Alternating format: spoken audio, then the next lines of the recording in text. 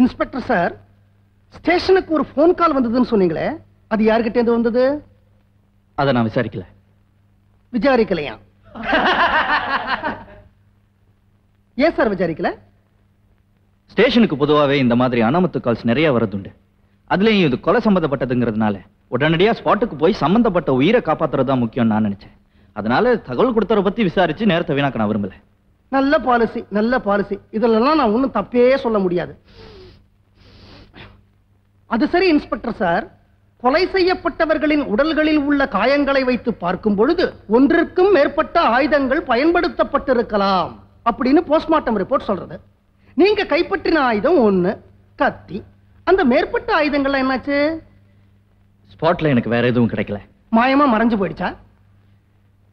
நான் அங்க போறதுக்குள்ள குற்றவாளி அதையெல்லாம் மறைச்சு வச்சிருக்கலாம். வீட்டுல கொண்டு போய் வச்சுட்டு வந்திருக்கலாங்கிறீங்க. I object is your honour defence lawyer இந்த கிண்டல நான் வன்மையா கண்டிக்கிறேன். உண்மைகள்லாம் நன்னா கிண்டி கலர்றதுக்காகத்தான் மறு விசாரணைக்கே உத்தரவிட்டிருக்காங்க. அப்படிங்கறத கனம் பப்ளிக் ப்ராசிக்யூட்டருக்கு நான் ஞாபகப்படுத்த விரும்புறேன் your honour objection overruled inspector sir கொலை நடந்த இடத்துல கைரேகைகள்லாம் இருந்ததுன்னு நீங்க சொன்னீங்க. அது யாருடைய கைரேகைன்னு சொல்ல முடியுமா? எல்லாமே குற்றவாளியோட கைரேகை தான். குற்றம் சாட்டப்பட்டவருடைய கைரேகைன்னு சொல்றீங்க. ஆ? எந்தெந்த இடத்துல கைரேகைகள் இருந்தது? அதை சொல்ல முடியுமா? செவத்துல ரெண்டு மூணு இடத்துல இருந்தது? வாச கதவுல இருந்தது. பாத்ரூம் கதவுல இருந்தது. அப்புறம் டிவில கூட இருந்தது. டிவியில குறிப்பா எந்த இடத்துல கைரேகை இருந்தது? ஆன் ஆஃப் சுவிட்ச்ல சோவர் டிவியை ஏக்கி இருக்காருன்னு நீங்க சொல்றீங்க. ஆமா. நீங்க போனப்போ டிவி ஆன்ல இருந்ததா இல்ல ஆஃப்ல இருந்ததா? ஆஃப்ல இருந்தது. சோ அவர் தான் ஆஃப் பண்ணிருக்கணும்னு நீங்க சொல்றீங்க. இன்ஸ்பெக்டர் சார் சாதாரணமா கொலை நடக்கிற இடங்கள்ல டிவியோ இல்ல ரேடியோவோ இருந்ததுன்னா இந்த கொலகாரங்க கொலை செய்யப்படுறவங்களுடைய கூச்சல் வெளியில கேட்க கூடாதுங்கிறதுக்காக டிவியோ ரேடியோவையோ ஆன் செஞ்சு பெருசா வைக்கிறது வழக்கம் இல்லையா? ஆமா. ஆனா நீங்க போன போது கொலை நடந்த இடத்துல டிவி ஆஃப் செய்யப்பட்டிருக்கு. அதுவும் கொலகாரங்கையாலேயே ஆஃப் செய்யப்பட்டிருக்குன்னு நீங்க தான் சொன்னீங்க இல்லையா? Your Honor. இனி டிஃபென்ஸ் தரப்பு சாட்சிகளை ஆஜர்படுத்தலாம். எனது தரப்பின் முதல் சாட்சியாக சொப்னா லாட்ஜ் மேனேஜர் திரு ராமலிங்கத்தை விசாரிக்க அனுமதி கோருகிறேன் யுவரானர் பர்மிஷன் கிராண்டட் நீங்க எங்க சார் வேலை பாக்குறீங்க சொப்னா லாட்ஜில் மேனேஜர் வேலை பார்க்குறேன் சார். மிஸ்டர் பிரபாகர் உங்களுக்கு தெரியுமா? தெரியுங்க. எப்படி தெரியும்? தொழில் முறையிலையா? உறவு முறையிலையா? இல்ல நட்பு முறையிலையா? தொழில் முறையில் தாங்க. அவர் அடிக்கடி லாட்ஜுக்கு வருவாரு. ரூம் எடுத்து தங்குவாரு. தங்கி என்ன பண்ணுவாரு? அது எப்படிங்க ஓ உங்க லாட்ஜ் அந்த மாதிரி லாட்ஜா சோ அந்த மாதிரி தொழில் முறையில உங்க ரெண்டு பேருக்கும் அப்படியெல்லாம் ஒண்ணு இல்லைங்க. நான் ரூம் கொடுப்பேன். அத்தோட சரி. தனியா தான் வருவாரா? தனியா தான் வருவாரு. ஆனா தனியா தங்க மாட்டாருங்க. சம்பவம் நடந்த அன்னைக்கு மிஸ்டர் பிரபாகர் உங்க லாட்ஜுக்கு வந்தாரா? ஆமாங்க. எத்தனை மணிக்கு? வழக்கமா பத்து மணிக்கு வருவாரு. அன்னைக்கு எட்டு மணிக்கே வந்துட்டாரு. எனக்கே ஆச்சரியமா இருந்தது. ரூம் எடுத்து தங்கினாரா? ஆமாங்க. ஐ அப்செக்ட் டு ஆனர் சம்பவம் நடந்த அன்னைக்கு குற்றவாளி அந்த லாட்ஜுக்கு போயிருக்காரு தவிர அங்க தங்கல. டிஃபென்ஸ் லாயர் வழக்க திசை திருப்ப பாக்குறார். கரெக்ட் திசை திருப்பத்தான் பாக்குறேன். போன தடவை தப்பான திசையில போன இந்த கேஸை இந்த தடவை சரியான திசையில திருப்ப பாக்குறேன். மிஸ்டர் ப்ராசிக்யூட்டர் போன தடவை டிஃபென்ஸ் தரப்புக்கு போதிய அவகாசம் தரப்படல அப்படிங்கிற காரணத்தினால தான் இந்த கேஸ் மறு விசாரணைக்கு வந்திருக்கு. அதை நான் உங்களுக்கு ஞாபகப்படுத்த விரும்புறேன். அப்ஜெக்ஷன் ஓவர் ரூல்ட் கேட்டியா உட்காரு. மிஸ்டர் ராமலிங்கம் சம்பவம் நடந்த அன்னைக்கு மிஸ்டர் பிரபாகர் உங்க லாட்ஜில் ரூம் எடுத்து தங்கினாருன்னு சொன்னீங்களே? எத்தனை மணி வரைக்கும் தங்கி இருந்தாரு ராத்திரி ஒன்பது மணி வரைக்கும் சார் ஓ ஒன்பதரை மணி வரைக்கும்? ஆமா. அதாவது ஒன்பது அடிச்சு முப்பது நிமிஷம் வரைக்கும்? ஆமா. அதாவது பத்து அடிக்கிறதுக்கு முப்பது நிமிஷம் முன்னாடி ஆமா. அதாவது மிஸ்டர் வரதராஜன் நான் புரிஞ்சுக்கிட்டேன். உங்களுக்கு புரியலையோன்னு தான் அழுத்தி அழுத்தி சொன்னேன். ஒரு தடவை சொன்னா போதும். That is all your honour mister public prosecutor சாட்சியை குறுக்கு விசாரணை செய்யலாம். மிஸ்டர் ராமலிங்கம் போன தடவை விசாரணையில குற்றவாளி உங்க லாட்ஜுக்கு வந்து மோகனை பத்தி விசாரிச்சார்னு மட்டும் தான் சொன்னீங்க. ஆனா இந்த தடவை அவர் ரூம் எடுத்து தங்கி இருந்தாரு சொல்றீங்க. அப்போ போன தடவை நீங்க சொன்னதை இப்ப நீங்களே போய் சொல்றீங்களா? அது எப்படிங்க? போன தடவை நீங்க பிரபாகர் வந்தாரான்னு மட்டும் தான் கேட்டீங்க. வந்தாருன்னு சொன்னேன். தங்கி இருந்தாரான்னு நீங்க கேட்கலையே. அதனால நான் சொல்லல. நீங்க சொல்றது உண்மையா இருந்தா லாட்ஜில தங்கினதுக்கு அடையாளமா ரிஜிஸ்டர்ல கையெழுத்து போட்டுக்கணுமே? போட்டுக்கறேன். இப்படி வந்து தங்குறவங்க யாரும் ரிஜிஸ்டர்ல கையெழுத்து போடல சார் நீங்க கூட தான் எத்தனையோ தடவை தங்கிருக்கீங்க உங்ககிட்ட என்னைக்காவது கையெழுத்து கேட்டிருக்கேனா?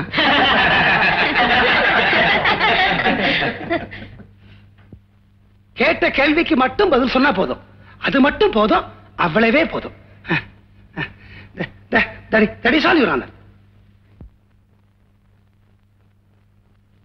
டாய் உன் குழந்தைக்கு காது குத்துறதுல இருந்து கல்யாணம் பண்ற வரைக்கும் அண்ணா அண்ணான்னு என் வீட்டுக்கு ஓடி வருவேன் இந்த இடத்துக்கு என்ன விட்டு நீ தனியா போயிருக்க? யுவர் ஆனர் எனது தரப்பின் இரண்டாவது சாட்சியாக எம்எல்ஏ பாளையத்தை விசாரிக்க அனுமதி கோருகிறேன். மிஸ்டர் பாளையம். நீங்க என்ன தொழில் பண்றீங்க? இருபதாயிரம் ஓட்டு வித்தியாசத்துல ஜெயிச்சுக்கிறேன். என்ன பார்த்து இன்னாமா கேள்வி கேட்ட கண்ணு? அரசியல். இதோ நிக்கிறாரே இவர் உங்களுக்கு தெரியுமா? ஓ தெரியுமே. எப்படி தெரியும்? எப்படி தெரியாம போடும்? அவரு தொழிற்சங்க தலைவர் அந்த முறையில தெரியும். அப்போல சொப்னா லாட்ஜில வேற அடிக்கடி கண்டுக்குவோம். நீங்களும் சொப்பனா லாட்ஜுக்கு அடிக்கடி போவீங்களா?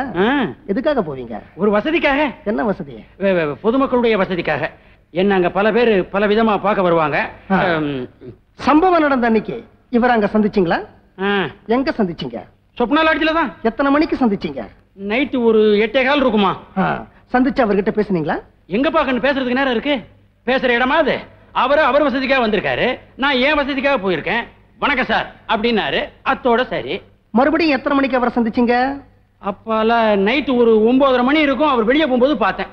உங்க வசதி எல்லாம் முடிஞ்சதுக்கு அப்புறம். கேப்லயே சாதாரணமா எத்தனை மணிக்கு உங்க வசதி முடியும்? அது முன்ன பின்ன இருக்கும். That's all your honour. இதெல்லாம் எனக்கு தெரியாதுப்பா. அவர் வெளியே போனதை மட்டும் தான் நான் பார்த்தேன். இது ஜட்ஜோட வசதிக்கு. மிஸ்டர் பப்ளிக் ப்ராசிக்யூட்டர் சாட்சியை குறுக்கு விசாரணை பண்ணலாம். மிஸ்டர் பாளையம் ஆ, நீங்க எந்த கட்சின்னு சொன்னீங்க? ஊதா கட்சி. தேர்தல் சமயத்துல நீங்க மஞ்சள் கட்சியில தீவிரமா இருந்ததாக பேப்பர்ல படிச்சேனே? ஊதா கட்சிக்காரர்கள் என்னை விலைக்கு வாங்கி விட்டார்கள். இது கோர்ட் ஓஹோ இது உயரமான இடத்துல ஏறி நின்னாலே அந்த புத்தி வந்துருதுப்பா. சோ நீங்க பணத்துக்காக என்ன வேணா செய்வீங்க. அப்படித்தானே? சில்லறைக்கெல்லாம் பண்றது இல்ல பண்டலுக்கு மட்டும் பண்ணிக்கிட்டு இருக்கேன். நான் சொல்றேன் நீங்க குற்றவாளி கிட்ட பணத்தை வாங்கிக்கிட்டு பொய் சாட்சி தான் சொல்ல வந்திருக்கீங்கன்னு. ஒத்துக்கிறீங்களா? ஒத்துக்க மாட்டேனே. அரசியல் தாமா எனக்கு வயித்து போய்ப்பு. கோர்ட்ல போய் சாட்சி சொல்றதா? பீசாட்டு. சரி. சம்பவம் நடந்த அன்னைக்கு சொப்னா லாட்ஜில பிரபாகரை சந்திச்சதா சொன்னீங்களே? எங்க சந்திச்சீங்க?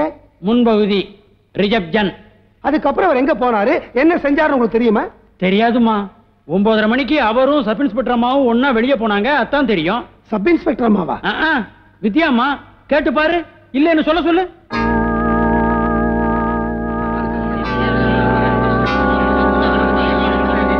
நீங்க பொய் சொல்றீங்க. சம்பவத்தை இன்னைக்கு பிரபாகர் ஒன்பதரை மணி வரைக்கும் சொப்னா லாட்ஜில் இருந்தாரு சொன்னீங்களே அது பொய். அவரும் சப் இன்ஸ்பெக்டர் வித்யாவும் ஒன்னா வெளியில போனாங்கன்னு சொன்னீங்களே அதுவும் பொய். எல்லாமே கட்டுக்கதை. நீங்க பணத்தை வாங்கிக்கிட்டு பொய் சாட்சி தான் சொல்ல வந்திருக்கீங்கன்னு நான் சொல்றேன். That is all your honour எனது தரப்பில் கடைசி சாட்சி sub inspector Vidya. Yes proceed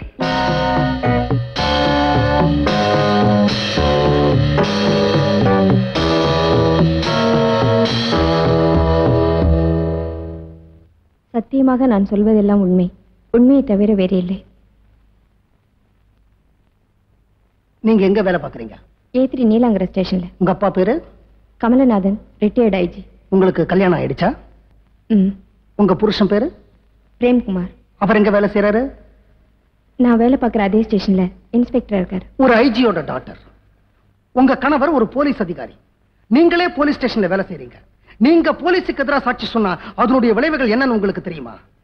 தெரியும். தெரியுமா?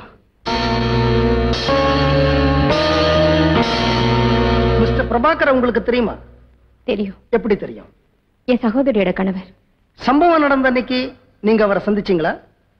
சந்திச்சேன். எங்க சந்திச்சீங்க? சொப்னா லாட்ஜில். எத்தனை மணிக்கு? எட்டே கால் மணிக்கு. நீங்க அங்க எதுக்காக போனீங்க? ரெய்டுக்காக. நீங்க ரெய்டுக்கு போனீங்கங்கிறதுக்கு ஏதாவது ஆதாரம் இருக்கா? லாட்ஜ் ரெஜிஸ்டர்ல நோட் எழுதியிருக்கேன். தவிர எங்க ஜெனரல் டைரியில என்ட்ரி போட்டிருக்கேன். அன்னைக்கு ஏதாவது கேஸ் கிடைச்சதா? ஆறு பேர் அரெஸ்ட் பண்ணியிருக்கேன். எத்தனை மணிக்கு ரெய்டு முடிஞ்சது? எட்டரை மணிக்கு. சரி எட்டே முக்கால் மணிக்கு எங்க இருந்தீங்கன்னு சொல்ல முடியுமா? ஒன்பது மணிக்கு எங்க இருந்தீங்க? ஒன்பதே கால் மணிக்காவது எங்க இருந்தீங்கன்னு சொல்ல முடியுமா?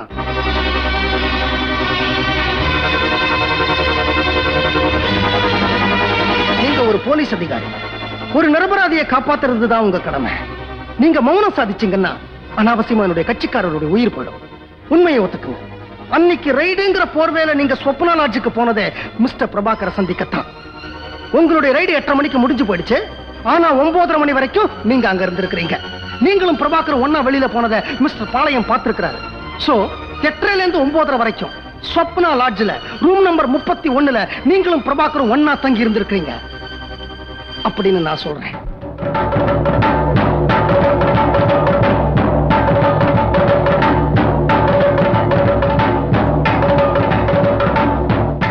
That's all your honour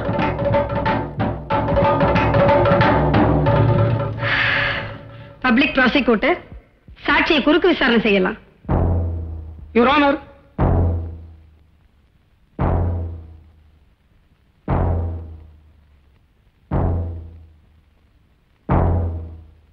இனிமே சாட்சியை குறுக்கு விசாரணை செய்ய வேண்டியது அவங்க புருஷன் தான் யுவர் ஆனர்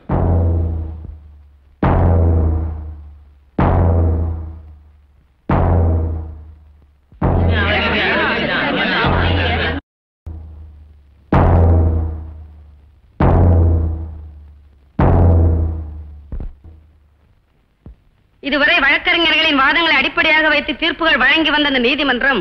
இப்போது முதல் முறையாக. ஒரு நிரபராதி தண்டிக்கப்படக்கூடாது என்கிற நல்ல எண்ணத்தில் பகிரங்கமாக உண்மை ஒப்புக்கொண்ட ஒரு பெண்ணின் தியாகத்தை அடிப்படையாக வைத்து தீர்ப்பு வழங்குகிறது. கொலை நடந்ததாக சொல்லப்பட்ட அந்த இரண்டு மணி நேரமும் குற்றம் சாட்டப்பட்ட பிரபாகர் கொலை நடந்த இடத்தில் இல்லை என்பதும் இந்த கொலைகளை அவர் செய்திருக்க முடியாது என்பதும் திருமதி வித்யாவின் சாட்சியத்தின் மூலம் சந்தேகத்திற்கு இடமின்றி நிரூபணமாகியிருப்பதால் இந்த வழக்கிலிருந்து நான் அவரை விடுதலை செய்கிறேன்.